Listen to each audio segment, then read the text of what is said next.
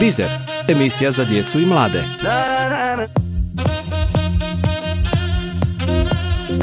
Cijenjeni slušatelji i draga djeca, u današnjoj emisiji Bizer slušat ćemo priču Strašni zmaj Leopold, autora Rinalda Kvesića. Priču nam pripovijeda autor Rinaldo Kvesić sa svojom obitelji.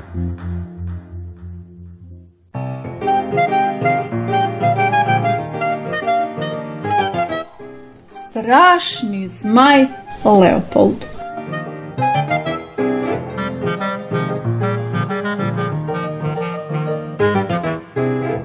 Nedaleko od Pule, u uvali Budava, našlo dvoje kozlića, zmaja kako spava. Pazi, Rina, sakrio se iza školskog suhozida i čeka na nas.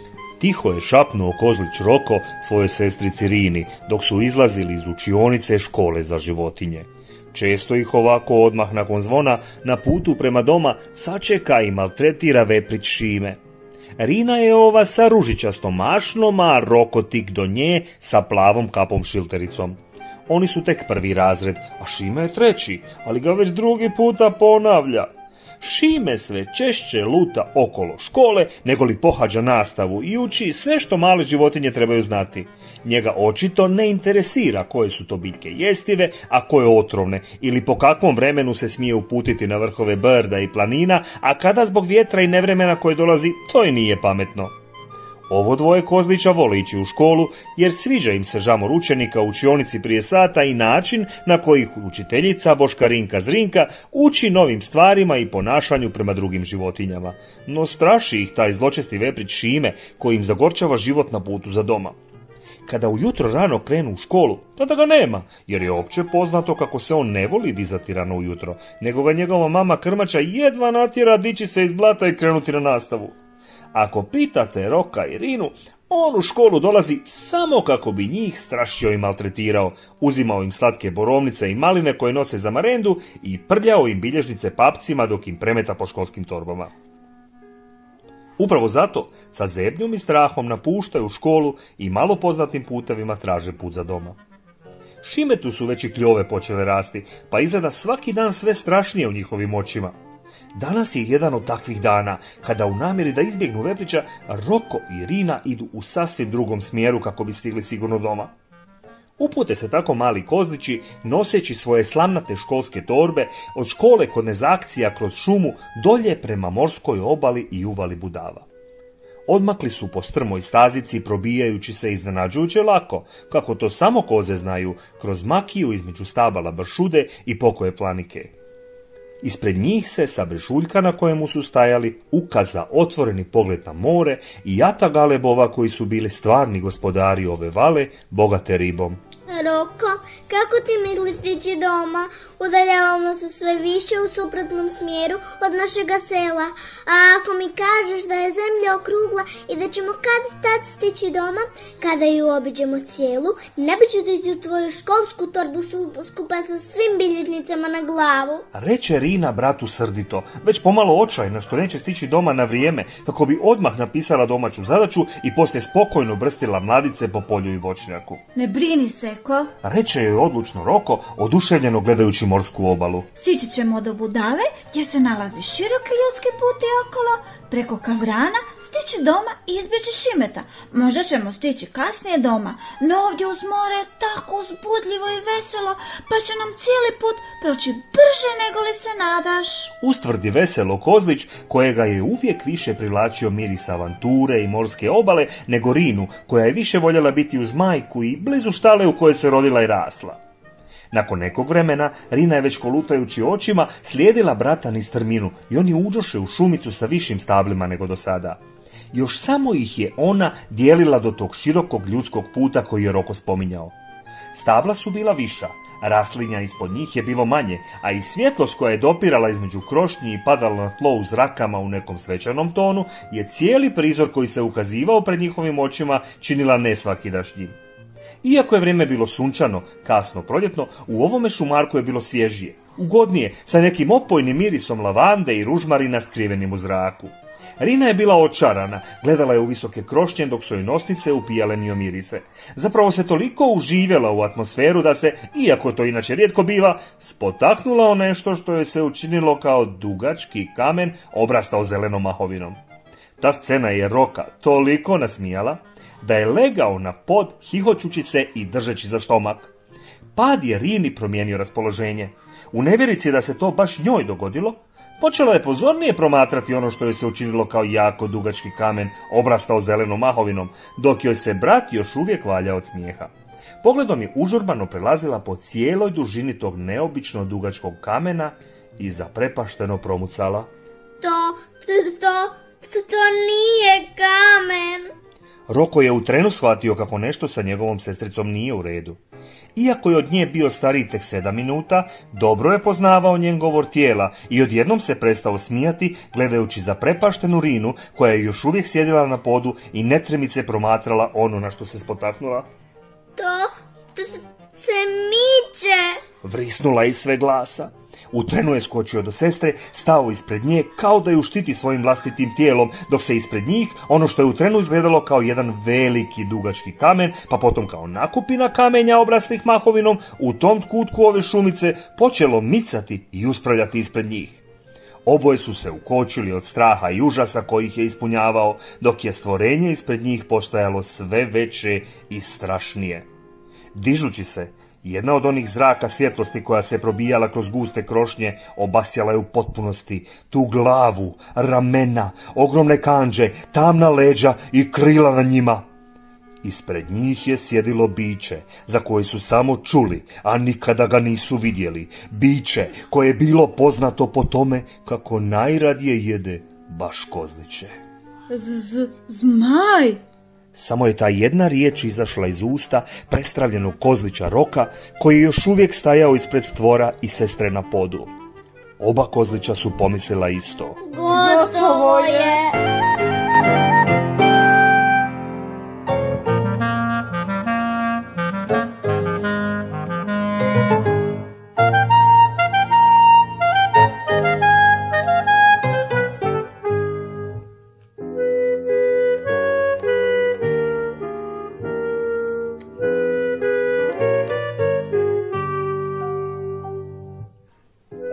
Priči nije kraj, baš je strašan ovaj zmaj. Oprostite, malo sam zadrijemao. Znate, često odremam nakon jutarnjeg ribolova, a pogotovo kada ribu začinim kojim grmom lavande i ružmarina. Hmm, za kanđe polizati. Začulo se iz usta tog strašnog stvorenja. Nakon ovih riječi, ni Roko ni Rina nisu bili sigurni da ne sanjaju. Taman kada su pomislili kako će ih strašni zmaj pojesti i da ih više neće biti, taj stvor je sjedio pomalo zbunjeno ispred njih i trljao oči. Ali ti si zmaj. Kao da istovremeno zamuckujući pita i uzvikuje, prozbori Rina, koja je čini se prva došla sebi, dižući se spoda i stajući pored još uvijek prestravljenog roka. E, za, zmaj? Što je to za zmaj? Zbunjeno upita stvorenje. Oprostite, baš sam nepristojan, inače mi to ne priliči. Leopold, Galeb Leopold, vama na usluzi. Reče stvorenje, podignuvši se na zdivlje noge i učinivši lagani naklon. Kada se uspravio ispred njih, tek tada su shvatili koliki je zapravo. Po svoj prilici tri puta veći od njihove učiteljice Boškarinke Zrinke ili barem deset puta veći od njihovog progonitelja Šime. Galeb. U istom glasu začuđeno upitaše oba kozlića. Kakav si ti galeb? Galebovi su duplo manji od nas. Odlučno će Roko. Pa, Galeb Leopold, lijepo sam vam rekao, a vi ne budite nepristojni zadirkujući me, niste se ni predstavili. Pomalo uvrijeđeno će Leopold, poput malog djeteta. Oprosti, Leopold. Spretno će Rina. Nismo naviknuli na tako velike galebove. Ja sam Nina, a ovo je moj brat Roko. Nismo te htjeli uvrijediti, nego smo malo umorni. Nadoda sestrica namigujući bratu u nastojanju da on više ne propitkuje zmaja o tome što si on umislio da je Galeb. Da, sorry Leopold, malo nas je zbunio i ovaj čarobni kutak šumice. Prekrasno ti je tu. Reče Roko. Leopold se odmah nasmiješio, prihvativši ispriku. Volim ovaj dio šume. Stari Bepo je rekao da su me upravo tu našli, dok sam bio jaje. Nisu znali čiji sam, a i bio sam veliko jaje. Baš me Bepo otkotrlja u gnjezdo koje je pravio samo za mene. Veselo je crkutao Leopold i svako toliko čačkao zube neobično dugačkom stabljikom lavande. Dođite, dođite za mnom! Uzbuđeno je poskočio. Staro Hunđelo mi uvijek govori kako trebamo poznavati nove prijatelje, kad me ostali galevovi vaši ne vole. Uputio se ispred njih, ljubazno mičući grane velikih stabala pored puta, tako da su se osjećali zbilja posebno i počašćeno. Kada su izbili na ljudski put, Leopold im je rekao kako trebaju biti tiho i na brzinu prijeći prema žalu, jer ga je Bepo učio biti pažljiv ispred ljudi koji se boje tako velikih galebova. Čim su stigli do mora, Leopold tako spretno zaroni ispod površine, kao da je odjednom nestao pred njihovim očima.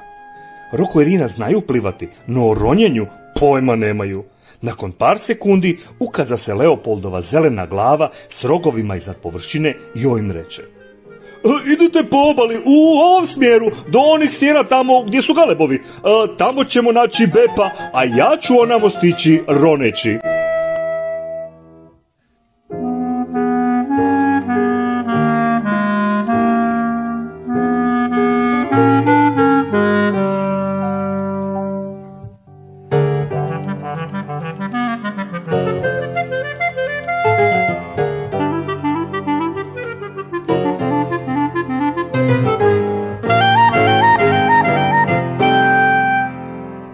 Jaše vjetar i zimi i ljeti, ali nije ptica sve što leti.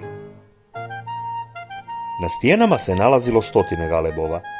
Svaki čas su se dizali i spuštali, jašući vjetar kojega je tu uz obalu bilo puno više nego u šumi iz koje su došli. Galebovi su bili poznati po tome da se vole svađati, da su glasni i ponekada naprasiti, no i da su vrlo složni. Kada su primijetili dva mlada kozlića kako im se približavaju, počeli su jedni drugima govoriti. Netko ide, netko ide, pozor, pozor, netko ide, netko ide. Sve što su se više približavali mjestu na koji ih je Leopold poslao, uzbuđeni galebova koji su kriještali i već pomalo bezobrazno blizu prelijetali iza njihovih glava, bilo je sve više. Nisu svi galebovi bili uzbuđeni i isprovocirani njihovim dolaskom. Neki su, po periju očigledno stariji i iskusniji, sjedili na svojim stijenama. Kada su se već sasvim približili, oni koji su letjeli iznad njih su ih već počeli i vrijeđati u želji da ih potjeraju sa svog teritorija, govoreći ružne riječi čiji sadržaj baš i nije za ovu priču. Upravo tada zadrhtala je površina mora. Ogroman val je odletio u zrak, a kapljice vode su špricale svuda u okolo. Galepovi su se razbježali na sve strane, kozlići su čučnuli iza prve stijene, a kroz zrak se začuo gromoglasan Leopoldov smijeh. Obožavam ovo, kada im nešto odvuče pozornost, pa ja ovako naglo izronim i pošpricam ih i prestrašim. Dok su mokri galebovi proklinjući letjeli svuda u okolo, a nasmijani Leopold plutao leđno plivajući tik do obale, samo je jedan stari galeb sa povezom preko jednog oka, minijaturnim kapetanskim šeširom i lulom koja je visila iz lijeve strane kljuna, ostaje stajati na stijeni.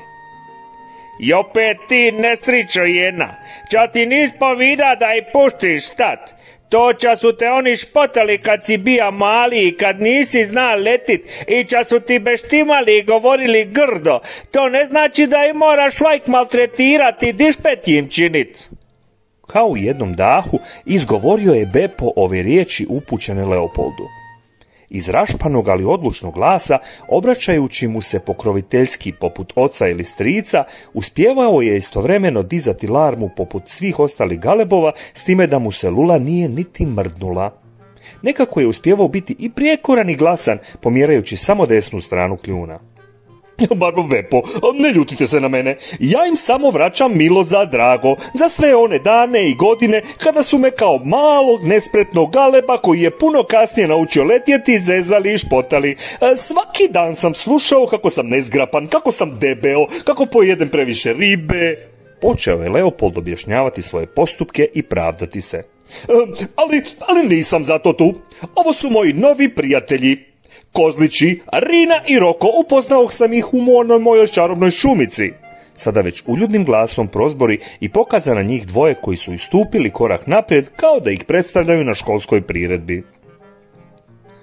Vidi, vidi, Anke pretele si naša, e, to se mi pježa. Škužajte ča sam vika, ma na uvega Leopolda moram tako, perke neka pi sve zajedno kad mu rečen. Bepo, Gale Bepo me zovu, ja sam ga naša, tamova boške, velo jaje je bija. Obratio se uglađeno u maniru starog morskog vuka ovaj smioni stari Galeb Kozlićima. Ispripovjedao im je priču o pronalasku i o tome kako je Leopold odrastao u ovoj koloni Galebova, koja je ponekada znala biti okrutna prema njemu, predbacujući mu jer je drugačiji, ali i o tome kako su ga uvijek štitili od drugih životinja i skrbili se za njega unatoč razlikama u izgledu i njegovim sposobnostima. Roko i Rina su za zanimanjem slušali Barba Bepa, ali im se jedno pitanje non-stop vrzmalo po glavi. Leopold je za to vrijeme plivao ironio, a svako toliko bi mu iz usta je vidio rep ribe. Ali ga se moglo vidjeti kako zadovoljno žvače ulov. Imao je konstantnu potrebu za ribolovom. Upravo nakon jednog takvog zarona, malo tišim glasom, obrati se Roko Barba Bepu. Nama je naš stric Rudi, koji priča najljepše priče, oko ljetnog kresa pripovjeda o bićima koji su nekada živjela tu u Budavi, o zmajevima. Izgledali su baš kao Leopold, samo što su jeli, ovaj, jeli su koze. Još tiše izusti Roko. Barba Bepo zastade, kao da ga nešto štrecnu i po prvi puta se ona lula koja je visila iz kljuna pomaknu s mjesta. Udahnu duboko, okrene se prema moru i pozove Leopolda da im se pridruži na obali. Ovaj neovod koji izađe iz vode sada već žvačući lavandu i pridruži im se na stijenama. Tada Bepo započe. E, slušaj me, sad ću ti povidat. E, još od kada sam te naša, ja sam zna. Ali nisam moga pred drugima govorit. A si ti došao malo veći, pa su te špotali, zezali drugi mulci, a pa ti nisi tija još veći nered u glavi. Ovaj, kako da ti rečem, Leo, ti nisi galeb.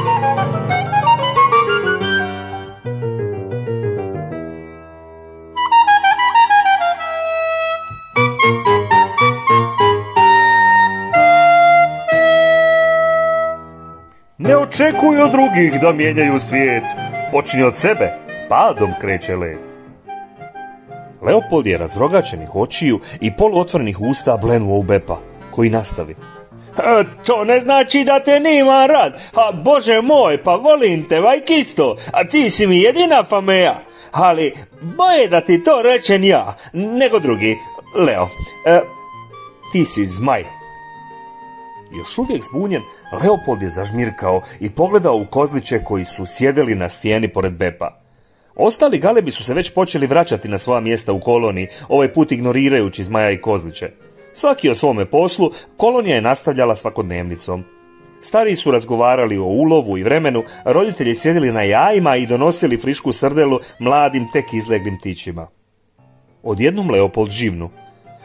A, zato ste vas dvoje bili onako prestraljeni kada ste me prvi put vidjeli. Kao da mu je sada sve kliknulo, ustvrdi. Ma, ma, ma već neko vrijeme ja sumnjam da nisam galeb. Samo što sam ja mislio da sam neka veća ptica kao recimo kondor ili albatros. Ali zmaj, pa mislim, što točno rade ti zmajevi? Gdje žive? Što jedu? Vole li i oni nakon ribe e, pojesti kakav grm ili žbun aromatičnog bilja? E, odlično je protiv žgaravice, a iz usta mi ne smrdi toliko. Sada su se svi slatko nasmijali ovim Leopoldovim tvrdnjama. Bepo se potrudio ispričati mu sve što je čuo o zmajevima na svim obalama sedam mora na kojima je bio u životu, a kozlići su dodali i ono što su čuli od strica Rudija. Kada su spomenuli dio o jedenju koza, Zmaj je iznenađeno ustuknuo i uvrijeđeno rekao hm, Taj film kod mene nećete gledati. Svečano izjavljujem da ja, gal, ovaj, zmaj Leopold od Budave, unatoč spoznaji da nisam galeb nego zmaj, ne jedem životinje koje hodaju po zemlji, nego samo ribe, onako kako su me učili od malena. Izjavio je ovo tako sveđano kao da postaje američki predsjednik. Samo mu je nedostajala Biblija da se na nju zakune. Moglo se vidjeti da mu je bilo drago što je konačno pronašao odgovore na neka svoja pitanja. Nakon ove spoznaje je bio još i veseliji, no opet je ogladnio, pa je s veseljem zbijao šale, roneći i zranjajući, dok su Kozlići i Bepo sjedili na stijenama i šalili se na njegov račun. Prilikom svakog izrona bi iz mora izbacio desetke srdela koje su mladi galebi skupljali po obali. Gledajući ga tako sretnog i razigranog, Rina, onako ispod glasa, da drugi ne čuju, upita Barba Bepa. On to inače ovako hrani galebove ili? E, Da, Srićo, u njega je zlatno srce, a vaj kad ima on dade drugima. E, galebi ka galebi karaju, a ča će drugo, ma i oni njega volu, to ti je nama normalno. Reče Bepo, a Rina bi se zaklela da mu je čak i suzu u kutu oka primijetila. Bio je to prekrasan dan. Izbilja im je bilo ugodno, no bilo je vrijeme za doma poći. Mama im se već do sada vratila sa ispaše i sigurno će se pitati zašto joj djeca nisu stigla doma. Pozdravili su se srdačno sa Barba Bepom, čak su im i ostali galebovi kliktali u znak pozdrava, a Leopold se ponudio ispratiti ih do ljudskog puta prema kavranu kojim će najlakše doma. Nakon što su odmakli od kolonije, Rina upita zmaja. Je li ti bilo teško dok su te vršnjaci galebovi zezali i zadirkivali u djetinstvu? Pa, da, bilo je teških trenutaka. Ono, kad si mali i nisi u nečemu dobar kao drugi, teško ti je jer ne znaš što učiniti. Osjećaš se bespomoćno, kao da si najlošiji na svijetu. Ali sreća, imao sam Bepa, koji mi je bio i majka i otac. Hranio me, gurao me kada mi se nije dalo. Učio me letjeti, učio ribolovu. Iskreno će zmaj. Pa ne misliš li možda kako to da su oni tebe zadirkivali kada si bio mali? Nije izgovor da ti sada zadirkuješ njih. Oni su to radili kada su bili djeca, nisu razumjeli da postoje drugačiji od njih, kojima je možda potrebno više vremena da se uklope. Vidio si kako te sa divljenjem gledaju njihovi ptići dok im bacaš ribe na obalu, gledajući tebe i oni uče o svijetu, o tome kako se odnositi prema slabijima od sebe, kako učiniti svijet boljim mjestom vlastitim primjerom. Dubokom noće Rina i sama začuđena spoznajom do koje je došla. Leopold ju je gledao s divljenjem, zastajkujući u kretanju kroz nistko raslinje. Njeni maleni i kozi rogovi, koji su mu na početku bili pomalo smiješni, sada su mu se učinili kao dva božićna ukrasa na takoj pametnoj mladoj glavi. O, imaš pravo, E, nisam na to tako gledao, ali e, sada kada ti to tako kažeš, vidim da ima smisla. Potrudit ću se biti obzirniji prema svim svojim galebovima, E, čak i prema onima koji su me najviše zadirkivali kao maloga. E, Biti ću ona promjena koju ja želim drugim klincima, bolje djetinstvo, ali... e, ali ne izbacuje prskanje vodom. Svako toliko, kada se opuste, malo ću ih poškropiti. Čisto zbog toga da se ne opuste previše. Šaljivo će zmaj. Opet su se svo troje slatko nasmijali. Roko je pronašao stablo divlje trešnje i nakon što su svo troje okušali slatke plodove, srdačno se pozdraviše uz dogovor da se opet nađu u onoj šumici idući vikend.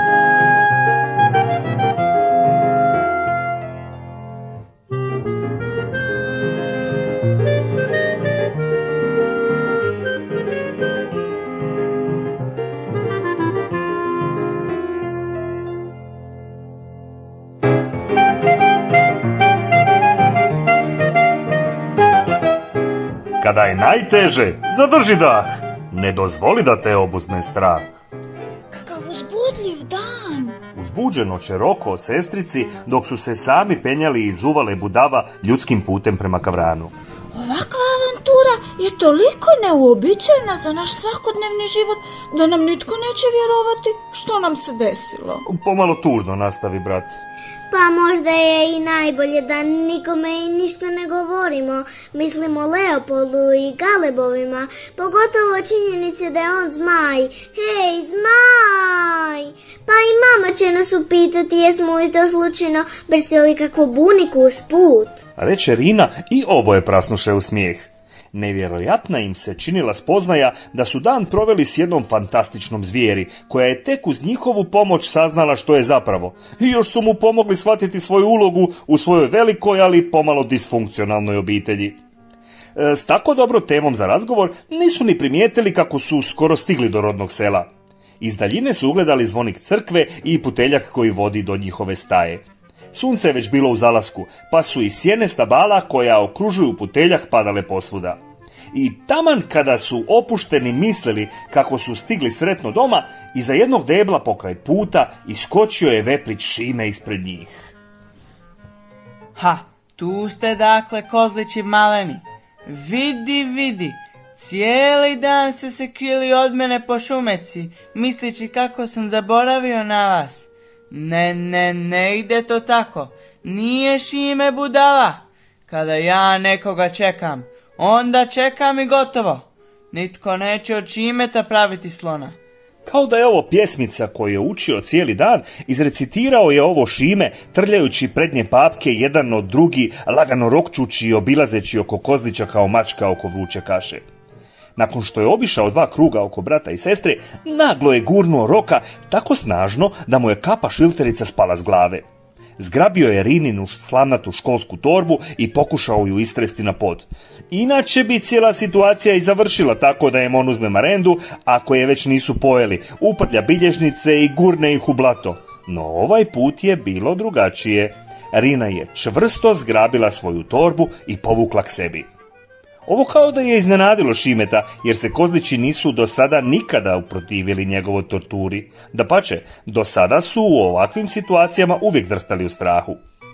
Vidjevši sestricu u novom, odlučnom izdanju, Roko se brzo podiže spoda i nagonski, kako to koze inače rade, nagnu glavu i sve snage odgurnu Veprića od sestre uz glasno izgovoreno Dosta!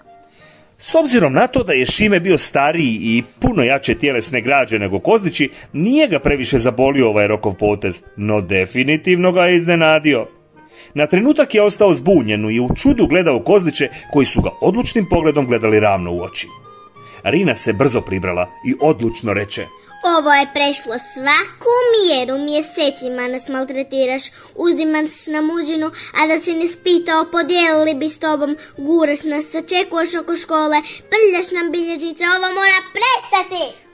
Uvijek maltretiraš samo slabiji od sebe, okomio si se na nas i nitko se ne druži s tobom. Pa zašto pobogu ne nađeš sebi ravna i pustiš nas na miru? Dodao je Roko jednako odlučnim i odrešitim tonom. I još uvijek u čudu, nakon nekih desetak sekundi koliko mu je trebalo da bi došao k sebi, Šime je odjednom čučnuo i teško uzdahnuo. A što mi zapravo preostaje? Kada sam ja bio prvašić, stari su me zadrikivali jer mi je mam prljava divlja svinja. Jer su mi zadaće neuredne. Jer sam u školu stizao bez marende koju sam već po putu pojeo. Nakon prva dva razreda nitko se više nije htio igrati sa mnom.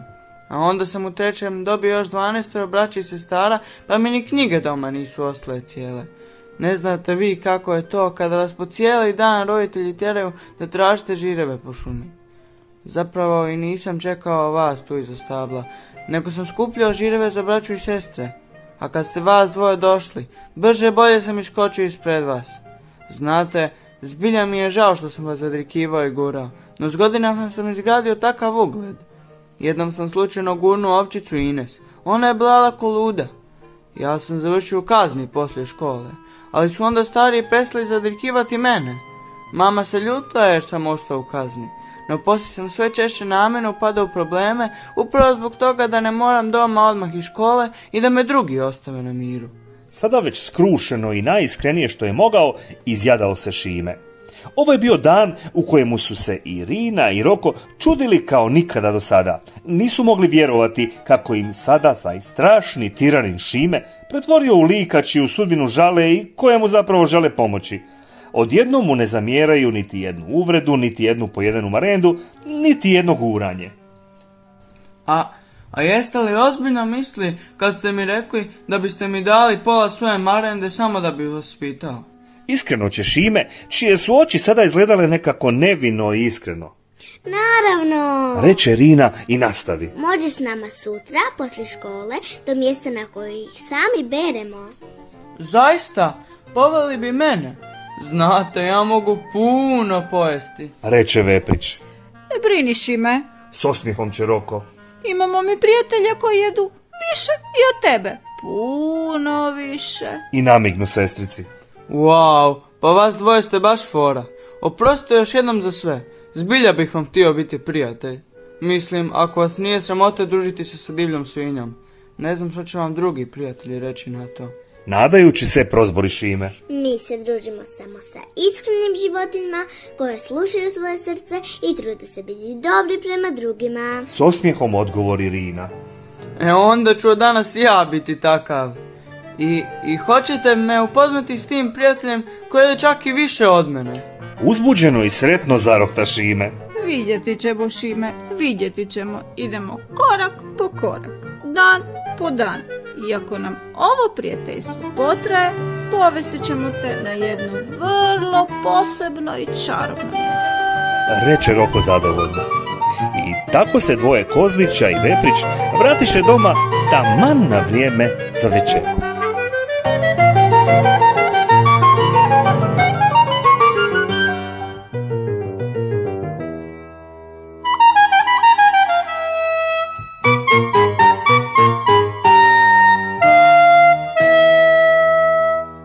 Dragi slušatelji, u današnjoj emisiji Bizer slušali smo priču za djecu Strašni zmaj Leopold, autora Rinalda Kvesića, te u izvedbi Obitelji Kvesić. Do sljedeće emisije, do slušanja. Slušali ste emisiju Bizer.